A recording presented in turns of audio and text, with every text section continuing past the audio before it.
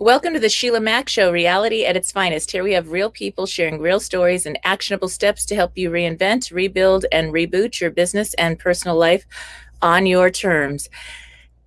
I'm your host, Sheila Mac, and today we have special guest Golnoosh Hak- Hakimdavar. Now, she is the associate professor, doctorate, and law founder who has published also a published author and senior international development expert with specialization in rule of law programs in Asia, Africa, and MENA countries fluent in three languages, and she has led the strategic planning and implementation of capacity building programs in South Asia and Africa, an expert project manager skilled in design, implementation, and evaluation of development projects, an executive in online educational programs, and senior rule of law expert professor of global law and policy policy evaluation research, and qualitative quantitative methodology, able to teach high technical classes and bridge the gap between the academic world and actual practice. Publications are focused on law and policy development, gender based violence, economic sanctions, the United Nations, and peace building, something we all need so much of these days. So, some of the countries she's worked is Kosovo, Afghanistan, Afghanistan, Iran, Yemen, Libya, Sudan, and and the list goes on and on. So she has worked with fair trial standards implementation and also gender-based violence mixed method evaluation and human rights mixed method evaluation. Other rule of law and other rule of law mixed method evaluations. Wow, that sounds like a lot of work and a, a real mission and calling. I, I love that. So, welcome to the show, Golnoosh. Thank you. Thank you. And uh, this show was actually brought about based on my new best-selling book bootstraps and bra straps the formula to go from rock bottom back into action in any situation. And this last almost two years now it seems we've had just about every situation imaginable hit us all globally at once. So you um, if you have a story um, about your business or personal life where you experienced um, a difficult situation and how you got back on track i love to start with that Thank you so much, Sheila, for having me on the show, um, and thanks for that uh, bio that uh, uh, that uh, you provided about my life. Um, so I'll be honest. The reason I went into the field that I went into, which is a focus on human rights and, and uh, bringing about justice in the world in, in some way, shape, or form. I'm not sure how successful I can be, but I hope that I can leave something behind as uh, as I get older and I uh, get closer to, to the end. But I really went into this field because um, I was working uh, before, I was working in, in manufacturing and I uh, loved my job. I loved everybody I worked with. But there came a time that I realized that there was there was a lot of injustice around me. There were a lot of individuals that were harmed. There were um, over 80, 80 million uh, people that were forcefully, forcefully displaced from their homes and were living in in camps, in uh, displacement camps, either their own, in their own countries or outside of their own countries. Um, and uh, there were individuals who were killed and were buried in mass graves. And in Kosovo, as an example, is a place where um, there were over 1 million people who were displaced. And, and so reading about all of this and re reading about all the injustice, about women who experience injustice, who experience violence, you know, 30% of the women in the world, um, even today, experience some form of injustice and um, and gender-based violence. And and I remember coming to the office and thinking, I opened, turned on my computer, and I don't know if you uh, remember before when we had this desktop, everybody uses a laptop now. I pressed the button and I looked at the little happy face. To me, it looked like a little happy face. I pressed the on button and, and I looked at it turn on and make the, you know, kind of coming on sound. And I thought, what am I doing? I need to be, I need to be doing something more. Mm-hmm. Um, and and that was kind of the turning moment in my life that's when i decided that i needed to change the direction of my life and i didn't want to care about of course every profession is important but for me it was important to do something that um, I could hopefully, in a small way, um, contribute to the injustice that um, to alleviate the injustice that exists in the world. Yeah. Mm, wow, that was a, a huge reboot in your life, pressing that button. That's great. Very true. yes, and things like that are definitely a calling or a guided something, something beyond us guiding you to do that. And and it's small efforts. If you're tuning in and you're frustrated with the way things are right now on this planet, it's the grassroots efforts, it's the community efforts that make the most difference globally actually. They can actually show up globally and it starts just with each person taking action and not just standing by the sidelines staying quiet about it. So that's that's what it's going to take i think. Yeah, it's so true, Sheila. I want to actually pick up on what you just said and that every individual matters, right? Every citizen matters. And that's the um, approach that I take towards, you know, when we talk about rule of law, it sounds very big. It sounds kind of like this, this big thing about law and it's for the lawyers, but it's actually not. It's for people. Mm-hmm. It's for people to understand their rights. You know, most people in the world that are experiencing uh, injustice um, they don't even know that that's injustice. They think that it's bad luck, right? In, in the US, we are fortunate because we have shows like Law and Order and, uh, you know, the CSI, and that we understand a lot more about the justice structure, what our rights are, um, the fact that we do have rights. But that's not the fact in all places in the world. Um, there are places where the definition of gender-based violence is not even clear. What does it mean? Women um, who are forced into marriage, they don't recognize that as forced marriage because that's what they're used to, because that's um, you know, culture plays a big role as a part of our life, mm-hmm. and there eh, there are good parts of every culture, and there are parts that can be improved, and um, and that exists in the world. We need to recognize that that that we need to move forward. We need to look at individuals, look at individuals, and how they're experiencing their lives, how they're experiencing a justice structure based on that culture that they are living in and they're growing in.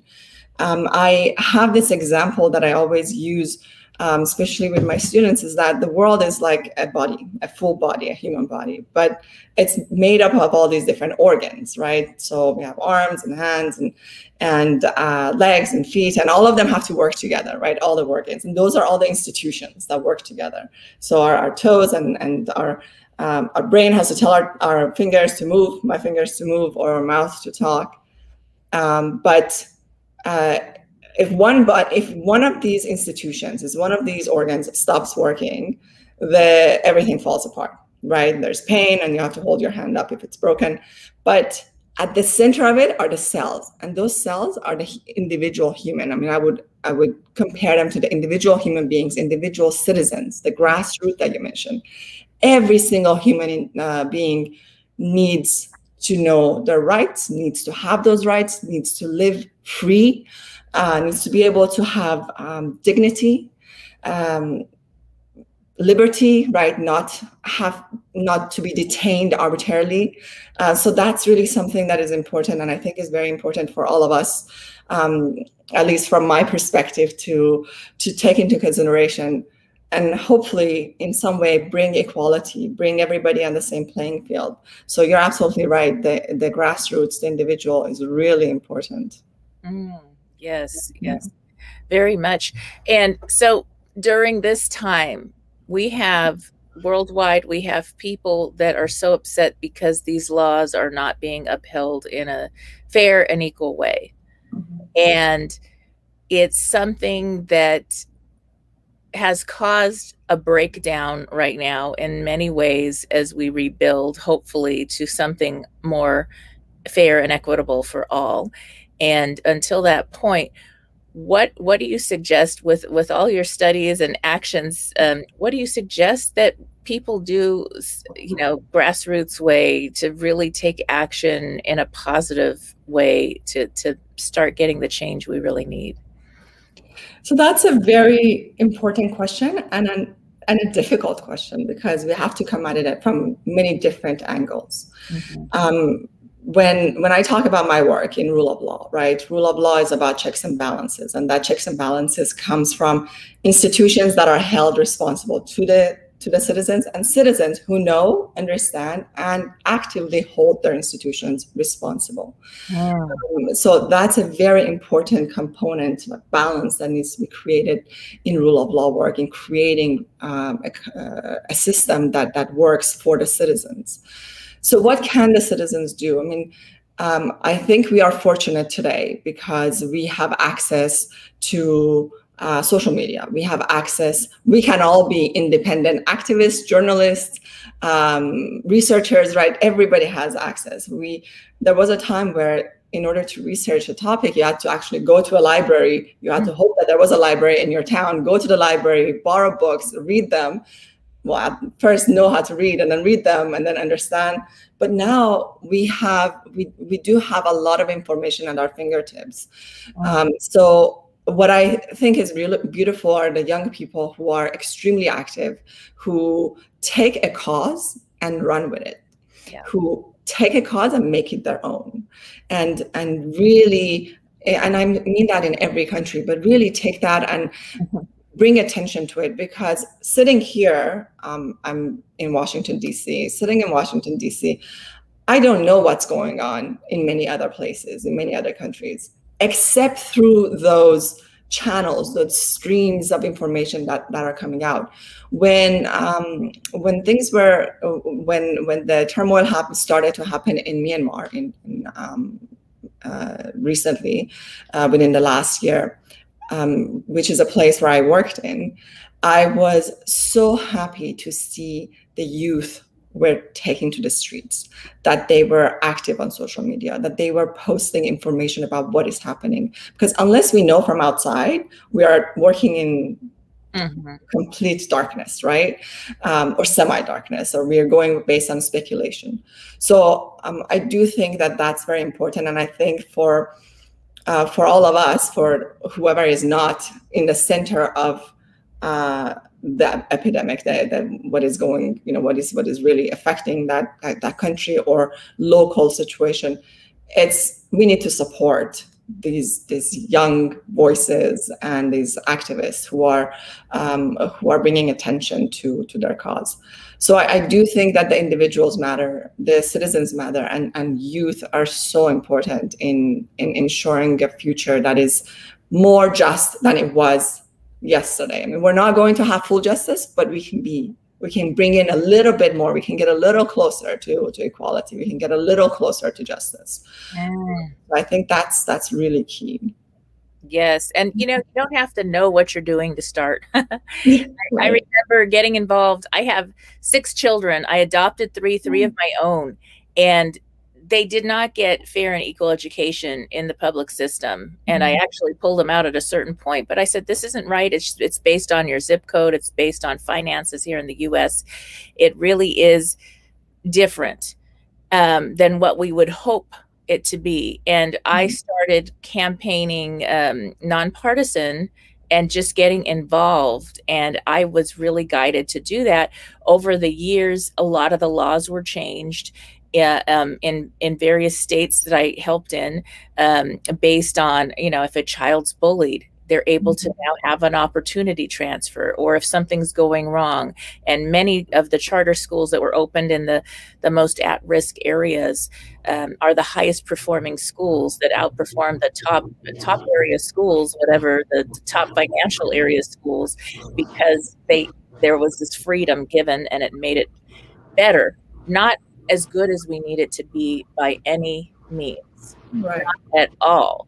And I remember being in a documentary and saying, you know, it's the one child that we deny that is going to have the cure to some cancer or some disease or, or your disease. Mm-hmm. They're the ones that you denied. And so when we deny one child, we're denying everyone.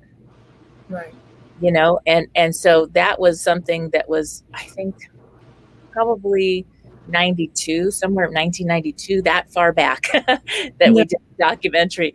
But that was that I didn't know what I was doing. I just things would show up and people that cared would get involved and And so that's it. Just start. That makes a big difference. And then you start to work with people that know more about what to do. Oh, we need to petition. We need to do this and that and the law. But the more you know about the law, the easier it is. And I think that's important. Just the education part mm-hmm. is is going to make a big difference. You're you're so right, and and you know, and, um, just wanted to pick up on a couple of points that, that you mentioned. Once one is congratulations on on having uh, your, your kids and being able to provide you know that support for them and teaching them really from from their own experience. You know, you see something wrong, and let's let's try to figure out how to how to manage it, how to fix it for uh, your kids and for others. Um, and and that really makes me think about this that there is nothing that is too small. There is no mission that is too small. There is no cause that is too small because mm-hmm. every cause is affecting someone. Every everything that we're looking at has an impact on one or another individual. So there is if we see something around that is not, and I, I guess this is kind of a call to action for anybody who uh, who wants to or who is interested is if you see something that is affecting you you see something that is making you think wow this i am feeling really sad with this. I'm really feeling that this needs to change then you can you can you can be the one. You can change it. You can be the one to take action. And i think that's really important um, at least um, you know around us in the US, we see a lot of problems as well. We see problems with homelessness, we see problems in education, we see problems with, with drug abuse. Mean, the number of issues are are very large. So, um, and, and I think that that's something that everyone should not just pass by. Don't pass by an issue. Stop and think about it. Is this your cause? If not, that's okay. You know, there hopefully there'll be the next person who will take on that cause. But maybe everyone should think it's very fulfilling if we find a cause and we fight for it. Mm-hmm. Um, for me, it's been on, on personal level, it's been very, uh, it was very difficult before I had a cause and I searched desperately to have a cause. I kept on thinking, whose cause am I taking on? Who? And I would ask my friends, well, what is your cause? What are you living, living for? What is the thing that you want to do and leave behind? And, um, you know, everybody had different ideas and I would think about it. I'm like, well, that's not really, that's not me. Um, so it, it, does take time to identify that cause, but it makes a big difference in, in our mundane life, in our daily life. That is just, you know, we get into this routine. But if you have that in that additional cause, you're like looking forward to it. You're looking forward to, wow, I changed one person's life. Right. That's that's great. I've made a difference beyond uh, my own life, and and for me, it's definitely been uh, something that I've looked for when we go back to the discussion of, of peace, um, you know, peace is a really big topic, and a lot of times that's not even defined. What is peace? Is it like lack of war? Is it when we don't have war, we have peace? Or is it when we have justice, we have peace? Or is it when we have justice for everybody equally, we have peace? You know, it's, it's very, very mm-hmm. difficult to really pinpoint and narrow down and define peace.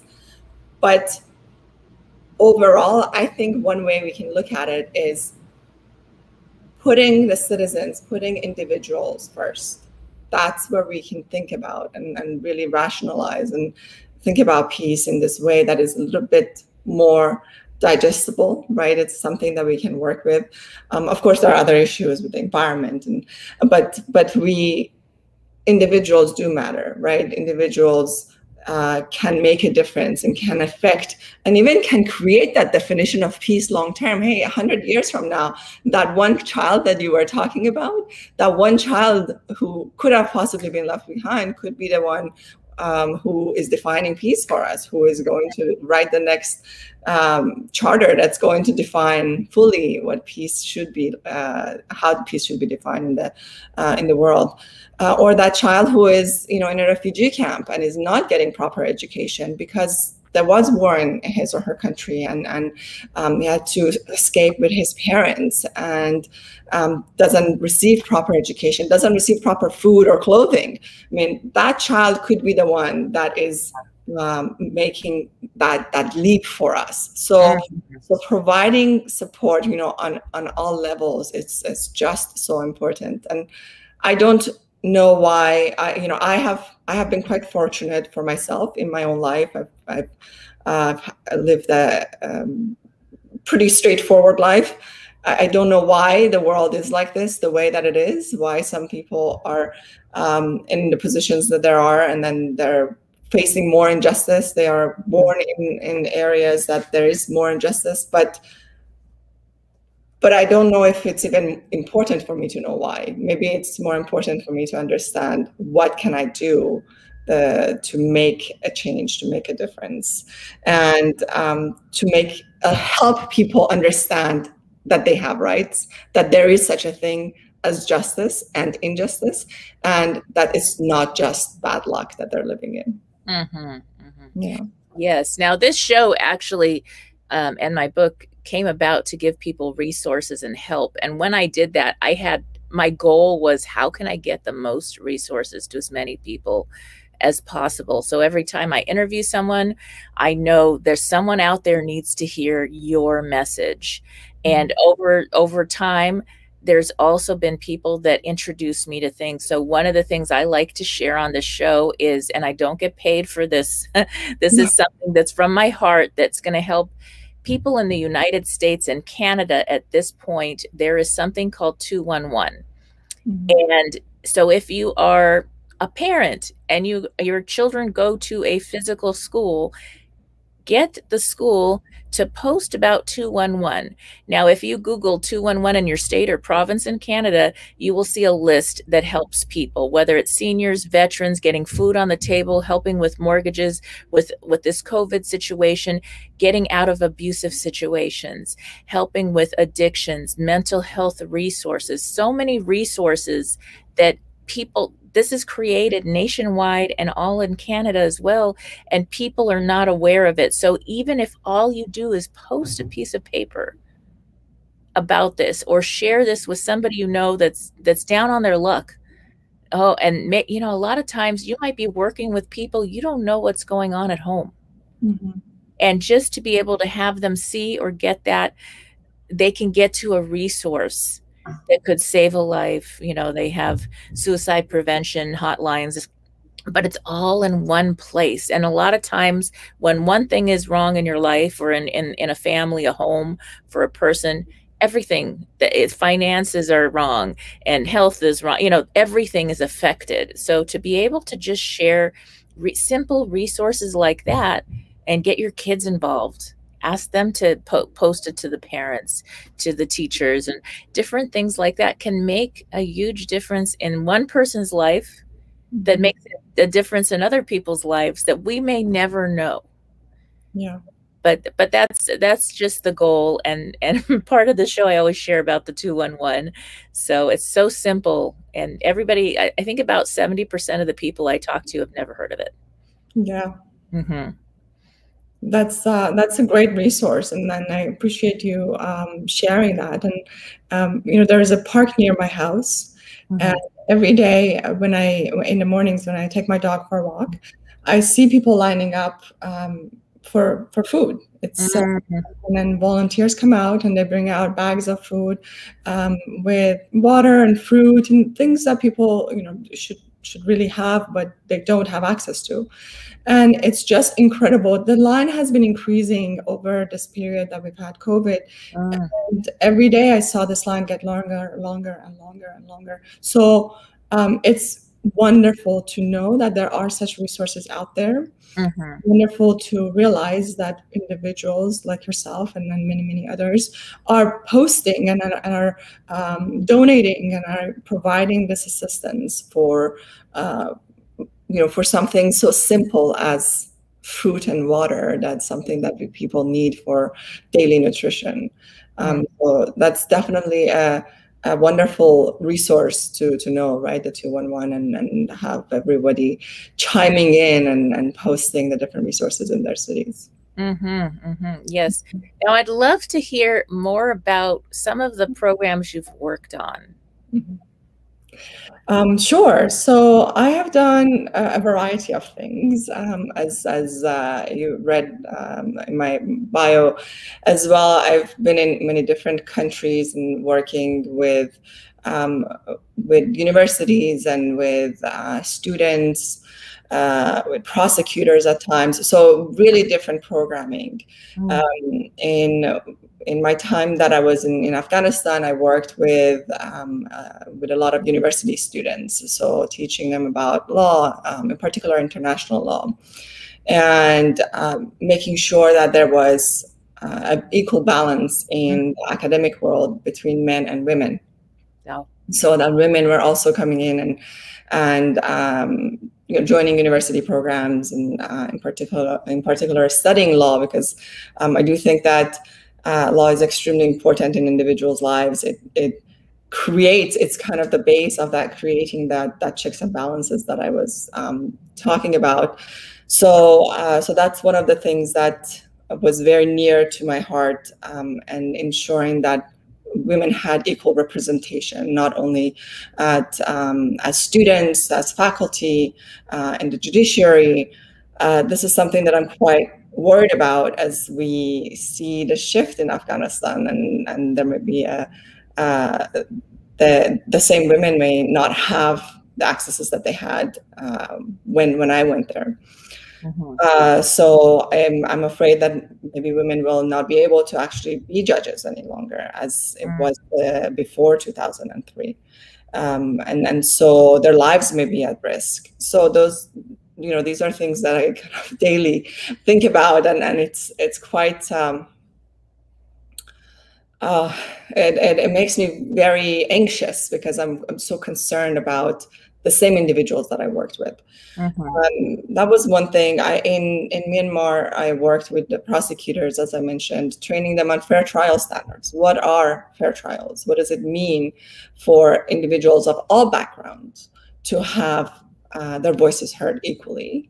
And these are prosecutors, right? So they're hearing cases, mm-hmm. and, um, and, and it, it's really important for them to understand international law, the international, the base of international law on what fair trial is and what equality means in, in, in fair trial. So, um, you know, when, when I talked about a uh, uniform base for everybody to be equal, that means that anyone, no matter what their religion is, when they are in front of the law, they should be treated the same. So mm-hmm. sometimes that means providing assistance right? So an individual who can, you may have two individuals come in, but one may be uh, not speaking the the language of the court. So providing them interpretation, right, of, of yeah. what is the right, providing them that assistance. Someone may come in and they are uh, blind, right? A blind person coming to court, they can't see, they, they are reacting and they're acting very differently than another person who is able, who has sight. So providing that individual with maximum possible assistance so they are treated equally, that they're, they have equal um, uh, representation, uh, not only on the legal side, but also on their um, their position, their uh, their situation being equal with the other. So um, fair trial is really I'm kind of breaking it down to really the, the basics. But that was one of the other things that I did. I I did a training on this, um, and um, unfortunately, all the countries I've worked with have ended up in not necessarily um, moving towards democratic positions. But uh, I'm hoping that that long term, the some of these trainings have uh, have been solidified in the minds of the people that I worked with. Mm-hmm.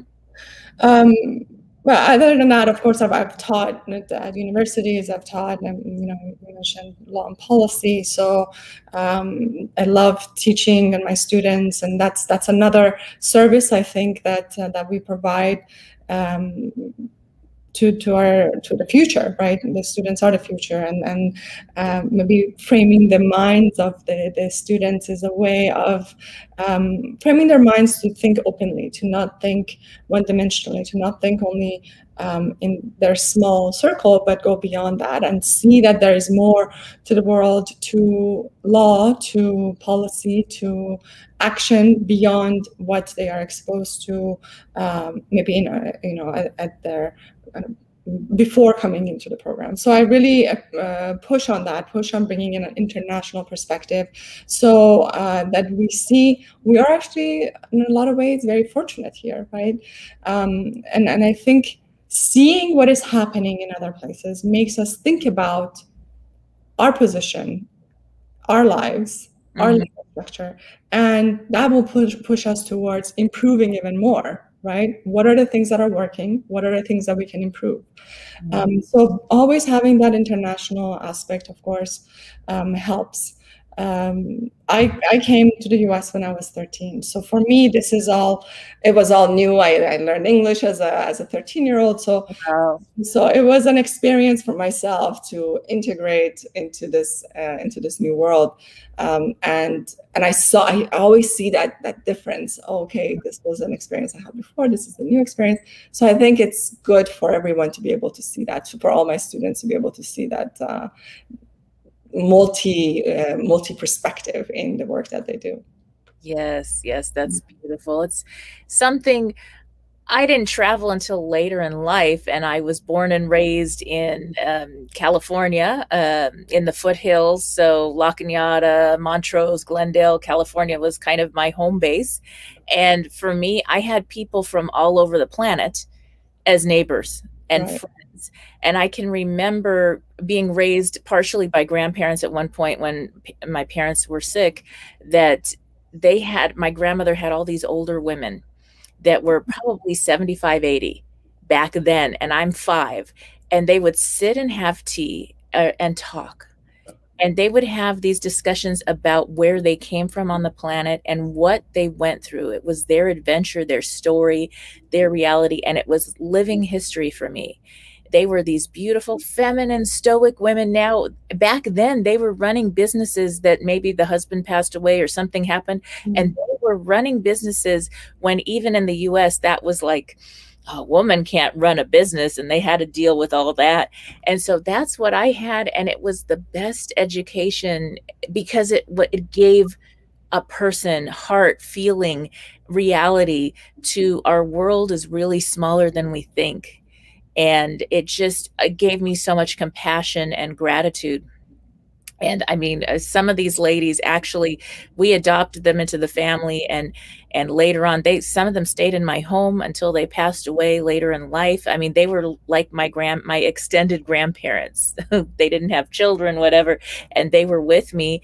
And so it was just a, a beautiful experience. And not everywhere in the us is that diverse. Just Los Angeles, California, we had that that incredible diversity. So I felt like I got to travel the world, and then later I did travel for seven years full time, and worked on things. So so that's something that bringing your children these stories, um, parents listening in, or um, even young students in college to have living stories, living histories uh, of people that went through things or are currently, depending on where you are in the world, going through things that are so different from where in the United States where we live. Mm-hmm. Just have that changes the perspective entirely. It really can make a difference. Now, when you were a little girl, Golnoosh, what was your goal? Did you think you were going to get into this this and, and um, be an activist like this, or? Um, actually, no. I wanted to be a neurosurgeon. that was my plan all throughout my childhood. Um, I, I, decided I wanted to be a neurosurgeon when I was nine, wow. and um, and you know I came to the U.S. and I went to school. I went to high school. Um, Unfortunately, I was told when I was in high school, maybe fortunately now, but um, unfortunately, I was told that, oh, as an immigrant, no, it's not really, it's too hard for you. You shouldn't, you shouldn't uh, pursue um, this degree. Um, of course, my, my English was quite weak at that point. I had just learned. But but yeah so so that changed the direction of my life. I was uh, you know that's really where i wanted to to go. I still love surgeries. I, mm-hmm. I have this very strange hobby of of watching videos of uh, there, there, are universities that do live like they have videos on, on youtube of surgeries and, and i watch those. I think those are fascinating. Um, mm-hmm. and, and learn a little bit from uh, from what i'm seeing but of course um, I'm happy for where I ended up. Uh, definitely uh, would have been a different life if I had mm-hmm. become, if I had gone into medicine, and um, and and but you know, still everything happens for a reason. You never know uh, what's what's in the in the books for the next 15 20 years but i'm definitely happy with where i am and and you know what you said about the older ladies that is so important the stories that's what really sits with you mm-hmm. so that's the one thing in my current day that's the one thing that i just I want I, I like crave it. I want the stories of people. I want to hear more and more stories. And I think that at any time, and this is for kids, for adults, for anybody, when you see a person, I think we should be interested in their story. Not mm-hmm. not telling them about ourselves, but hearing mm-hmm. their stories. And mm-hmm. and I love that. Sometimes, you know, in, in our in, a, in the park next to my house, I I find these older people and I'm just I sit there and ask them a couple of questions and let them tell me their stories because you can learn so much and you can pick up so much. Um, so it's really a valuable thing to have those stories and to appreciate the stories. And you don't take 100% of it home, but you may take some bits and pieces that come back um, to you later on as um, and and you may use it you know in 10 years it may it may come in handy. But the stories are really important. The stories of the people that i've met uh, overseas they stay with me. They form what i write and the scholarship that i do and the stories i tell my students. Yes yes that's beautiful. Mm-hmm. now we, i wanted to get back to the equality um, with, with women mm-hmm. and i remember trying to go back to school to get another degree once I, I shut down. I had five gift stores for many years. And the, the thing that they told me this was a big university and they had a rule that the first year you have to live on campus Mm-hmm. and by this point in my mm-hmm. life i had two babies at home that were you know three and five. Yeah. And so that was not an option. mm-hmm. And although it sounded very tempting, yeah. And, and I literally remember writing a really long letter to the dean of the school about how this is why you only have 2% mm-hmm. women in these courses because they during this age group we have children. So right. we tend to be the ones still that that are the main caregivers no matter what you do. And and so it's just not going to happen. I wrote and then i ended up going to another university. But that that was something and they finally changed it i think five or six years later where they changed that program for women. And so maybe my letter letters, write letters get your voice out there if it didn't work out and i i still ended up running lots of businesses and doing lots of things and and getting three more degrees and all this stuff so so it was fine but it was i felt i needed to do that so little things like a letter, I don't know if that helped or not, but they did change it over time. But it's just letting people know, hey, wait a minute. This isn't this isn't this is why you're st- you want to make more money in your university? Let the women in. Right. But understand they may have children during this age group. Right. They may have other responsibilities. So, you know, it has to be accommodating for all. And that that's going to make a big difference. So just like you, you know, going to this country and they said, no, you can't do this neurosurgeon deal. And right. I mean, no is usually the biggest yes. So you never know in the future, Golnoosh. You may do oh. that too in your spare time. it may take many, many years. Um, you know, sometimes you take a no and you make it into a, a bigger yes and something yes. else. So it yes. doesn't necessarily have to be uh, what you, what you think originally. Um, and um, it, it's life. Life is full of surprises as long as we're moving and making decisions and moving forward. The, yes. the moment that there are no longer surprises are the moments when you stop making decisions and moving. Mm-hmm. Um, and so, uh, you know, there was this I think it was an advertisement that said um, a body in, in movement or body in motion always stays in motion. I mean, that comes from science. Um, mm-hmm. And I think that's true. That's true in everything we do, right? The moment you start moving, you're doing something, it will continue moving. Mm-hmm as long as you're you're of course contributing to it and you're not putting a force stop to it right mm. when you're not responding to emails or we're not um, acting on things that are coming our way those are the stops. This is actually a forced stop. You know, when you get your mind to it, um, I don't know if you ever experience this, but I sometimes get this like an email comes in, I'm like, oh, okay, I will respond to it uh, tomorrow. Well, that's a stop. I'm actually putting energy and thinking about putting a stop into something that should be moving. So so that I remind myself, no, you need to move things forward. So it's it's important to stay in motion and stay active, no matter how many no's we hear, no matter what the no's are telling us. And sure, change the path a little bit, but just go forward. Exactly, exactly. Yeah. Tony Robbins says you're either growing or you're dying. So, yeah. so we have to keep growing, definitely. Mm-hmm. Now we're coming to the end of our talking time, so I'd love for hear how people can connect with you and learn more about all you're doing. Um, of course, yes. So I am on um, Twitter and on YouTube, and I have a LinkedIn account. So um, on YouTube, they can just search my name, Golnoosh Hakimdavar, and I come up. Uh, same thing on Twitter and same thing on, on LinkedIn. Um, I'm actually, no one in the world has my name. So if my name is typed into Google, that's the only person that comes up. So, um, so and I'll be happy to be connected and um, continue the conversation.